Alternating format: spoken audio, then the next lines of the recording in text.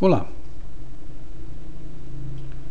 Neste vídeo eu vou dar continuidade ao vídeo anterior onde eu apresentei este relógio digital, tá? montado por mim. E neste vídeo eu vou mostrar o esquema elétrico e dar algumas informações adicionais sobre o mesmo. É, caso você queira montar este relógio, acesse o meu blog, cujo link está aí abaixo na descrição do vídeo, e lá você terá o esquema elétrico e todas as informações necessárias para a montagem do mesmo. Então vamos lá à apresentação do esquema elétrico. Aqui está o esquema elétrico, é o mesmo que está lá no blog. É, Antes de mais nada, você vê aqui, ó, tá? Temos os displays interligados em, em, em cada display interligado no CI 4026, que são CIs específicos, né, para display. Porém, você nota o seguinte, são, são display de catodo comum. E no catodo eu coloquei aqui um resistor e do resistor liguei a terra. Isso aqui funciona sem problema, porém tem um inconveniente. É, o brilho do display é, aumenta ou diminui dependendo do número de segmentos que esteja aceso. Por exemplo, se aqui tiver o número 1 e aqui tiver o número 5, o número 1 aqui ficará com mais brilho do que o número 5, porque terá apenas dois, dois segmentos acesos. Tá?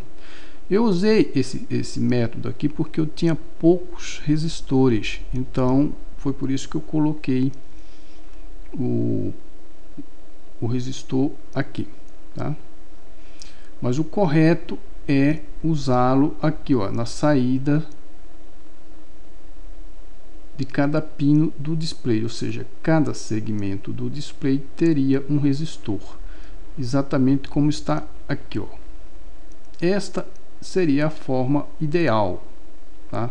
Observe cada, cada pino do display, ou seja, cada segmento está ligado um resistor de 220 ohms e o outro terminal do resistor está na pinagem do CI, ok? Então,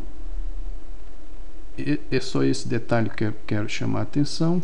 Então, no caso aqui, você irá precisar de 28 resistores, né? de 220 ohms, né? porque cada display precisará de 7. Como quando eu construí meu relógio eu tinha poucos resistores, tá? eu não, não quis ir até o centro comprar, então fiz esse, essa artimanha aqui, ok?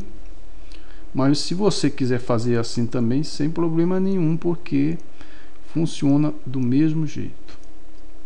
Então, dando continuidade à explicação, aqui temos os quatro CIs, 4026, tá? Aqui temos CI 4040. Esse CI 4040 é responsável para por transformar os pulsos de o pulso de 60 Hz que vem da rede elétrica, ou seja, que vem do trafo, né, em um pulso por minuto. Observe aqui, ó.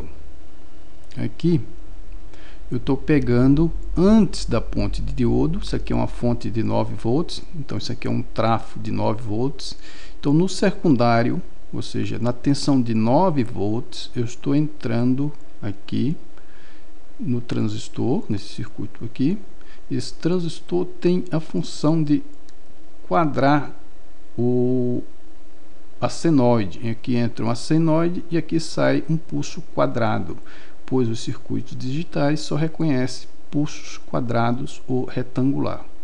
Então esse pulso quadrado de 60 Hz entra através dessa porta aqui do CI 4081, entra no pino de clock do CI 4040 e na sua saída, através das demais portas do CI 4081, sai um pulso por minuto, ou seja, aqui entra 60 pulsos por segundo e sai um pulso por minuto. Esse pulso por minuto vai no pino de clock do primeiro CI aqui, no caso CI 4, tá?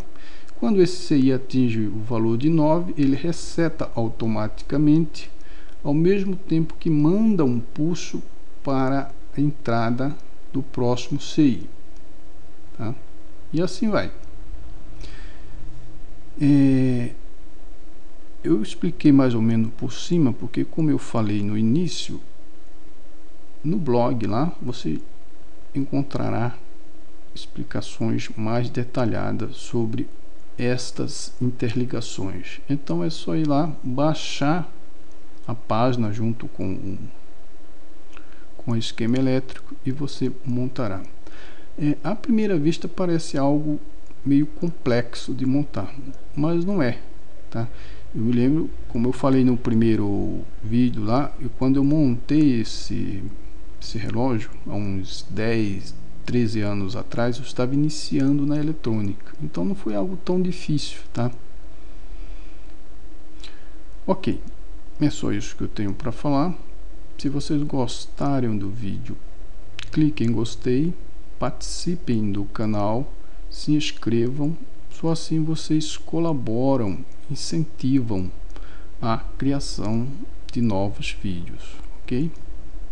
Então, até o próximo vídeo.